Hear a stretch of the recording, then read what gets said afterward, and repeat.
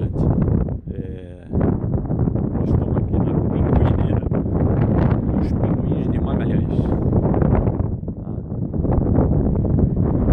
Eles são engraçadinhos, mas eu pensei que eles eram mais bonitos. Não sei se, se é a época, não sei, mas tô achando eles meio feinhos. Sei lá. Tem bastante. Dá pra ver bem, né? Aí quantos? Aí, ó.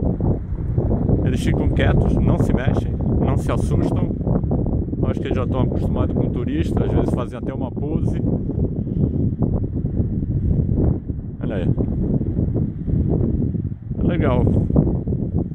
Foram. Foi uma hora em estrada de rico pra gente ver eles. Pra gente que nunca viu de perto, vale a pena. É. Só que não tem nenhum fazendo pose agora. Acho que tá num horário muito tarde.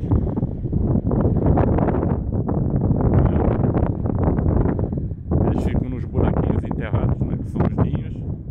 Claro. Olha lá.